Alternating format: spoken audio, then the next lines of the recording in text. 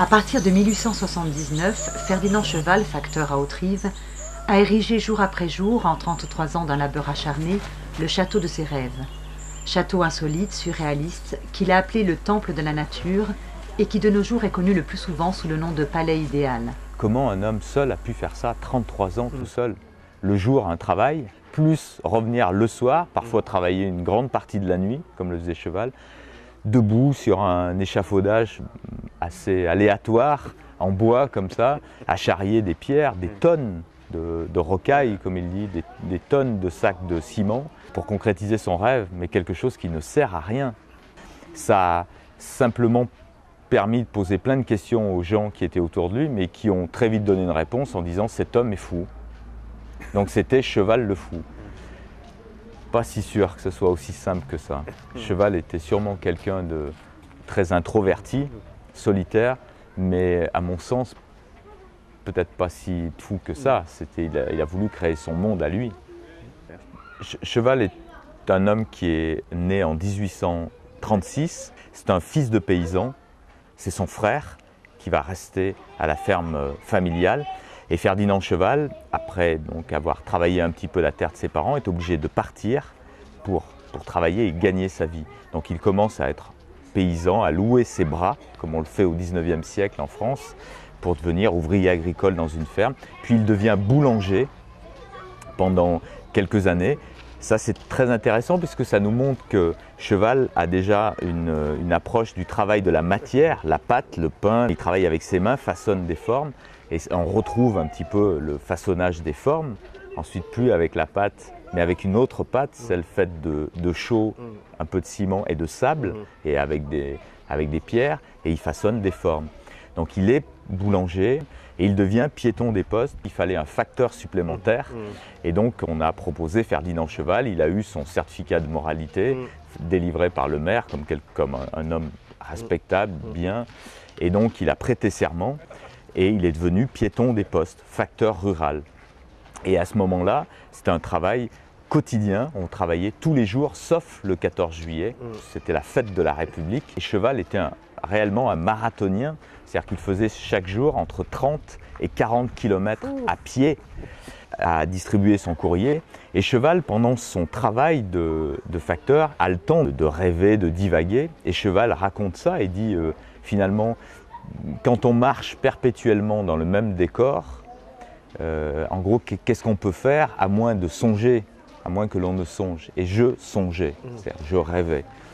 Donc ce métier de facteur pour mm. cheval a beaucoup d'importance et de sens pour la suite de son travail.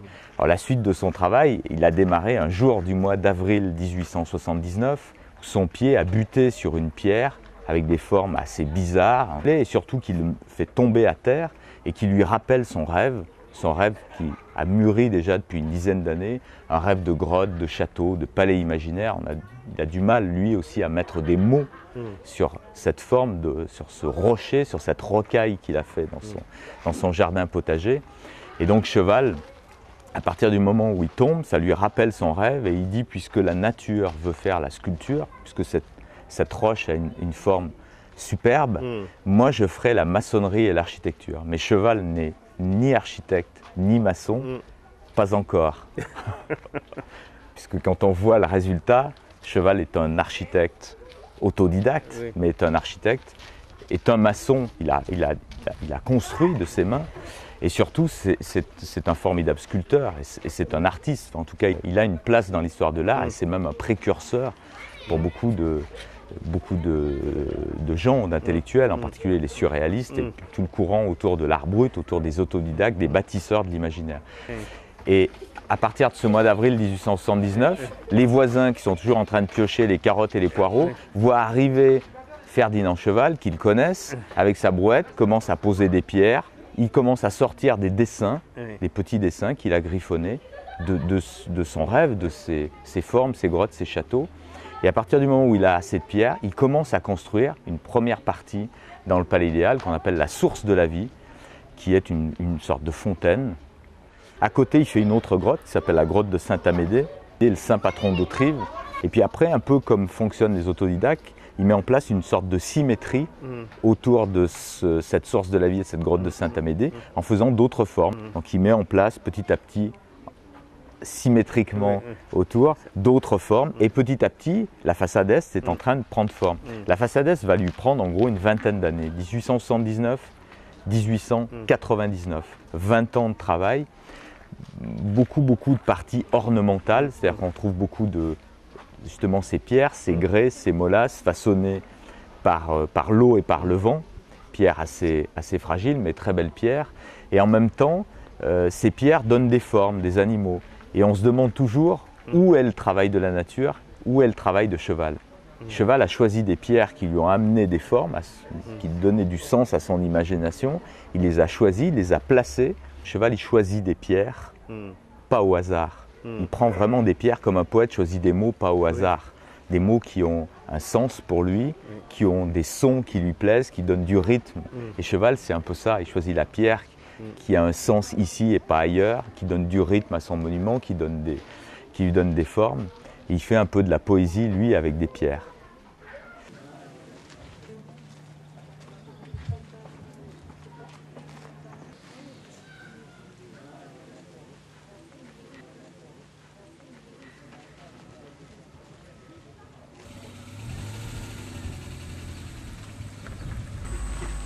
Bernard Catlin a commencé à peindre à l'âge de 14 ans, et si aujourd'hui il est reconnu comme l'un des plus grands maîtres de notre époque, il le doit à sa mère, à son professeur de dessin et à la Drôme où sont ses racines. Ce sont les paysages de la Drôme où il passe ses étés dans la maison de famille qui inspirent son œuvre et nourrissent sa palette.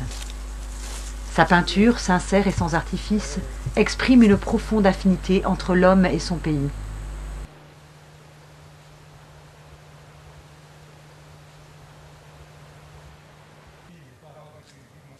J'ai connu une Drôme qui était beaucoup moins euh, opérette que Oui. maintenant. vous comprenez, Oui, oui.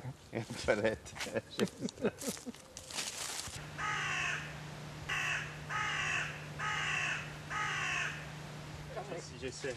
Non, parce que vous, vous avez froid. Non, non, non, pas du tout. J'avais les polards. Le sel. Pourquoi il n'y a pas de sel? Vraiment un créateur comme vous. Vous avez resté dans ce coin toute votre vie. Je, Ah oui. je trouve ça c'est extraordinaire. Et c'est vraiment la Drôme qui inspire. Ah oui, oui, c'est très vrai. Oui, oui. C'est le pays, le pays de mes racines et j'ai besoin de- d'y revenir. Oui.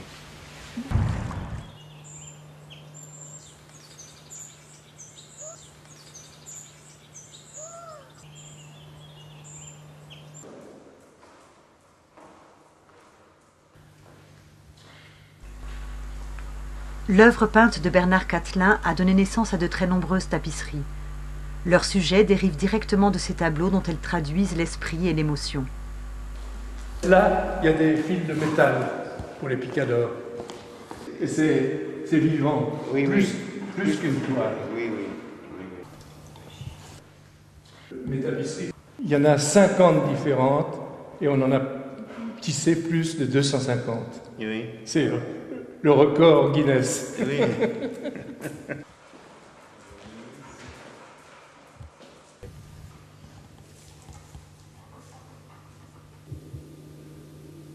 Il y a des pays qui m'ont marqué plus que d'autres. Oui. Le, le Mexique pour la couleur et le, le Japon pour la réflexion, Oui. pour la, la simplicité.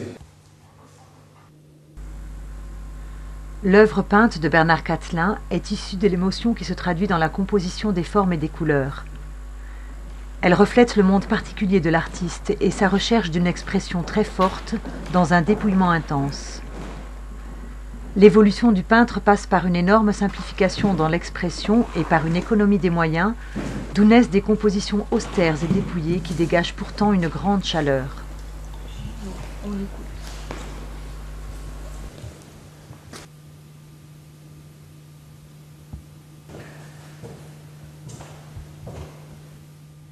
vous êtes vraiment un, un- un homme de terroir ici. Oui, oui, et ça, je- j'ai la chance d'avoir des racines, mais ces racines sont très fortes. Oui. Parce que j'ai eu beaucoup de chance dans ma vie. J'ai eu d'abord la chance d'avoir une mère idéale Mm. et, et Elle était très belle. Et elle, elle m'a appris ce que c'était. Elle m'a emmené sur le chemin de la beauté. La Drôme, un, un splendide euh, département et qui, qui a des points de ressemblance avec les, les plus beaux paysages italiens. On possède des, des paysages, des ciels qui, qui n'appartiennent qu'à qu'à elle. vrai. Et, et comme dans mon travail, j'aime beaucoup insister sur euh, le ciel et les nuages, ici je suis athée parce que il y a, au-dessus du Vercors, il y a- d'immenses rochers, Oui. et au-dessus de ces rochers, il y a d'immenses nuages. Et les falaises du Glandas, c'était une montagne euh, au-dessus de, de Die, et qui, qui est- qui est aussi émouvante par son côté solitaire. Il y a un massif solitaire du Glandas. Et c'est là où, quand j'étais jeune, c'est-à-dire il y a très longtemps, j'ai j'ai accompagné des, des transhumants. Les, les- les moutons là, qui Oui. passent comme un fleuve là, Oui. pour aller là-haut. Ici, vous avez de la lavande? Ah oui, et, et les lavandes, il y a un monde mystérieux des lavandes. On peut pas, on peut pas dire le ton exact, vous comprenez, c'est c'est un ton de rêve. Au fur et à mesure qu'elles grandissent, elles changent de couleur. Avec le vent, elles changent de couleur. Ça sent bon, c'est c'est miraculeux comme plante.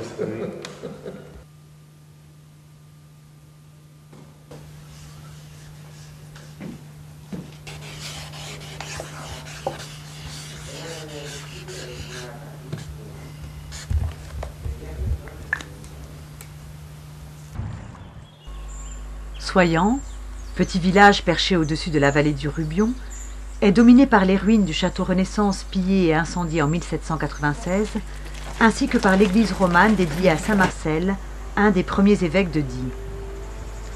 Remaniée au XVIIe et XVIIIe siècle, elle est décorée d'une gloire peinte au XIXe siècle qui représente une colombe entourée de têtes d'anges.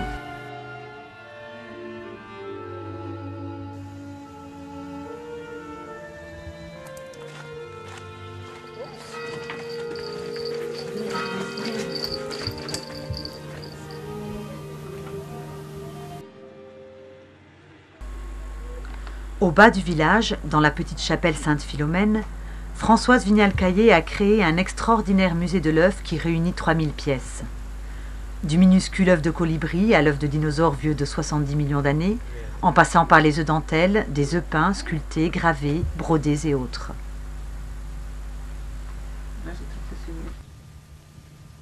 Qui, arrive avant l'œuf ou. Ça, c'est une question que tout le monde pose. C'est une question. euh, moi, je viens de poser la question à Hubert Rive, qui est l'astrophysicien, pour savoir Oui, si, oui. avec le Big Bang, on Oui. Mais au Moyen Âge, on a déjà trouvé que des philosophes s'étaient penchés sur cette question Mm. et ils avaient trouvé que l'œuf était dans la poule et la poule dans l'œuf. Ils avaient expliqué ça, que c'était un tout Oui. philosophiquement. Et euh, il n'y a pas longtemps, il y a eu un- une recherche génétique Mm. Et on a trouvé que les gènes de la poule sont aussi dans les gènes de l'œuf. C'est la genèse. Ça va aussi avec Oui. l'histoire du début du monde. Oui. Il dit qu'au début du monde, il y avait le ciel, l'œuf et la femme. Il a mis le tournesol parce que c'est la femme qui apporte la chaleur et la couleur. Mhm. Il a mis la colombe parce que c'est la femme qui apporte la paix. Mhm. Et ce qui sort de la tête de la femme, c'est l'intelligence et l'esprit. Et Mhm. dit-il, ça sort forcément de la femme. Là, vous voyez, ça c'est une dame qui fait la dentelle au fuseau. C'est une dentelle euh, aux deux torchons, dit-on. Et elle a fait tous les petits fuseaux, comme ceci, et elle travaille directement sur l'œuf. Et elle fait son, son dessin à partir de...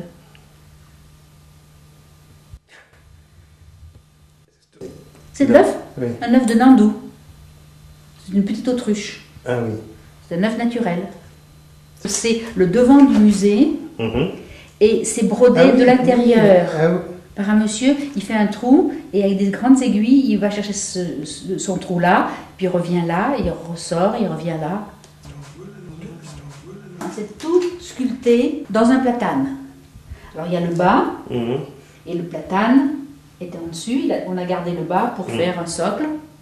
Et il a sculpté ça en forme d'œuf, de Pâques. C'est un seul œuf. Mhm. Ça, c'est l'arrondi de là. Mhm. Et il a découpé tout ce qui était à l'intérieur comme ça pour faire le socle et le socle d'en bas, dans un seul œuf. Vous avez des recettes pour les œufs Des recettes? Oui. Oh, des recettes pour faire cuire? Oui. Enfin, des- Ah oui, on fait beaucoup de recettes. Oui. Euh, puisque j'ai un petit jardin de sorcières et Oui. je fais des recettes entre le, le- les œufs avec des plantes oubliées. Oui. Et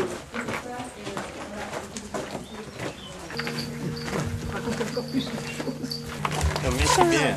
J'arrive avec mon balai. J'arrive, Lucas, je vais te prendre. Il va te prendre. Il va te prendre. Qui, qui est cette, cette dame ici? Cette- c'est notre sorcière de service. Alors elle surveille tout le monde. Et sa, et sa nom? François, Fonsou. François, c'est la gentille sorcière François. C'est le monsieur balai. Non, on l'a pas trouvé.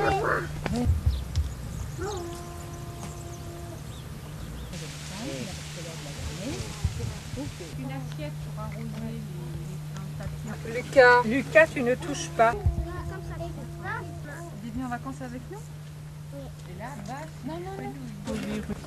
Nos célèbres haricots va faire des graines. Et ben, ça doit faire de 80 cm à 1 mètre. Le haricot. C'est pour ça qu'on appelle ça le haricot kilomètre. Magique. C'est magique. On en a deux, on a ça, puis le haricot de. Le haricot de. C'est le vrai haricot de Jacques. Alors, Vous êtes absolument sûr, Françoise absolument sûr. Parce qu'on m'a on m'a dit ça, hein. Moi, Ah je, bon je vais pas. euh, Voilà. Alors, on a beaucoup d'autres choses. Euh, Quel, quel pays, hein Quel pays Ça, c'est magnifique. hein. Ah, c'est- c'est- Cette vallée, c'est vraiment étonnant. non, je, je blague. C'est très joli. C'est très joli. Au printemps, ça fait des grandes, des grands épis rouges. Oui. Et on dirait qu'on peut rincer les bouteilles Ah comme oui, ça. ah. Ça s'appelle bien rince-bouteille. Et ça s'appelle le boyau du diable. Boyau du diable. Boyau du diable. Pourquoi le boyau du diable? Parce que c'est pas vraiment toxique, Hmm. mais si vous en mangez, Hmm. ça vous donne des coliques terribles. Hmm. Ça, l'herbe de grâce, c'est de la rue. Hmm. C'est une plante qui est abortive. Ah oui Alors que c'est-à-dire quand on en a pris beaucoup, on est soulagé. Ah bon? La cigarette là, Ah oui? C'est pour ça qu'elle s'appelle la plante cigarette. C'est un nom latin, mais ça, ça tout parce qu'on voit juste, comme- comme si elle était Oui. un petit bout de cigarette qui était brûlé. Ça, c'est bon. Une Hmm. tente. Ça c'est Hmm. une Le ça, menthe, c'est Oui. euh, bon. menthe poivrée.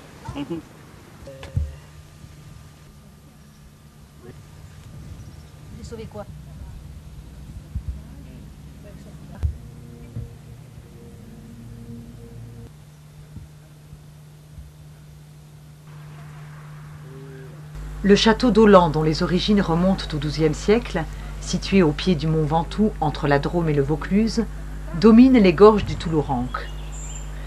Les siècles passés ne l'ont pas épargné, et plusieurs fois il a dû panser ses blessures. Son propriétaire actuel, le comte Charles de Suarez d'Aulan, Vous avez restauré ce château C'était une ruine.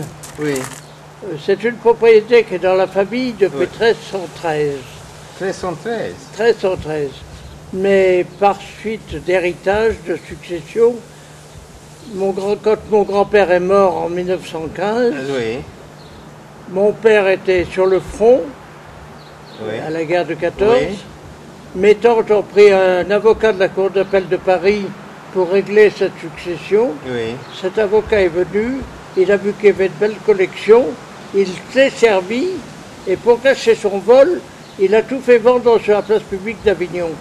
Alors je reviens ici en 1933, des ruines, pas une paillasse, pas un couteau, pas une fourchette, 5000 francs en poche.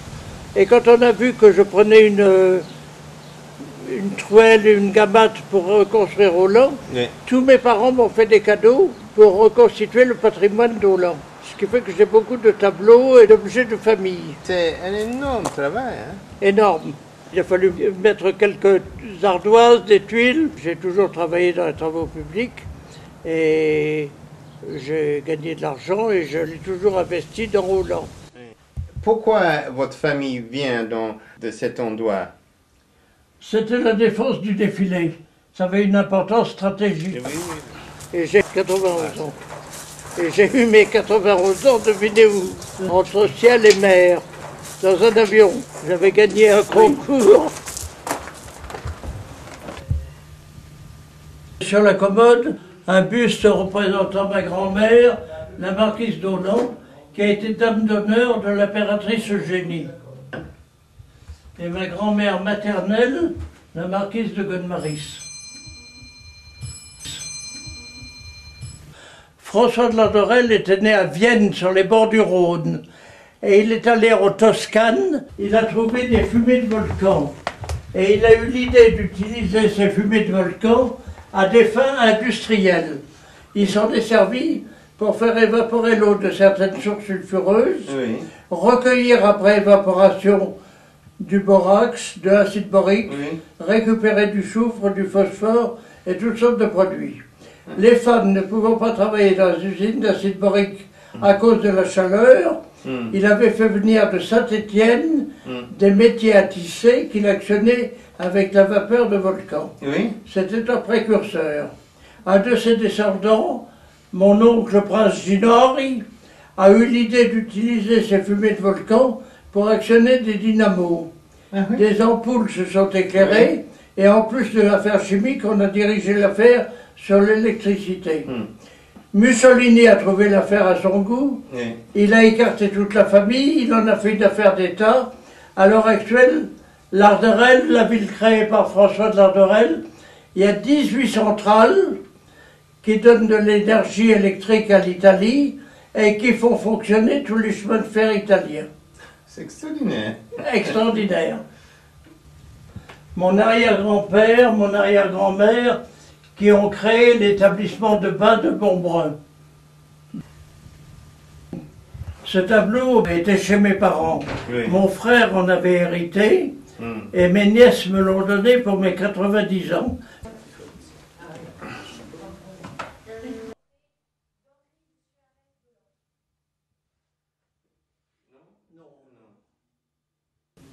Un pastel représentant mon grand-père, le marquis de Suarez d'Hollande, et qui a terminé comme guide de Napoléon III.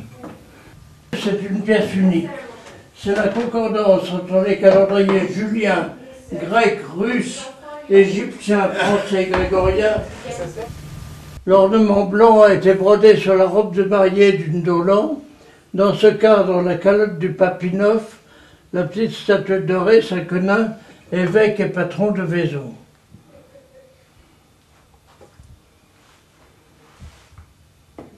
Un buste en bronze représentant mon grand-père en costume d'écuyer de Napoléon III.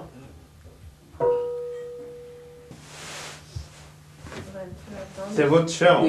Oui, Vous dormiez ici oui, Ah, c'est confortable, hein avec beaucoup de souvenirs. Oui. Oui, c'était tout, c'était une ruine. Mais comment vous avez fait ça, tout ça? Bah, j'ai travaillé toute ma vie pour le faire. Oui, mais vous avez fait avec votre main. Beaucoup. Oui. La chaise à porteur aux armoiries de famille de ma mère qui servait à transporter dans les rues de Carpentras Et monsieur Lecomte, qu'est-ce que c'est ça? Pour mettre de la braise, Oui. du charbon de bois, de la braise, se chauffer un peu les Ah, mains, ah seulement ça. puis euh, se mettre sous la table pour se chauffer les pieds. C'est ma robe de baptême. Mais qui a beaucoup servi pour les enfants, les petits-enfants, les arrière-petits-enfants. Ce tableau, mon grand-père devait le dessiner à une chapelle ou une église, le miracle de Sainte Bechtilde. On la porte sur une civière, elle ressuscite et se dirige vers une église. Mais pour faire le petit garçon qui est sur les marches, mon grand-père avait pris comme modèle son fils, le frère de ma mère.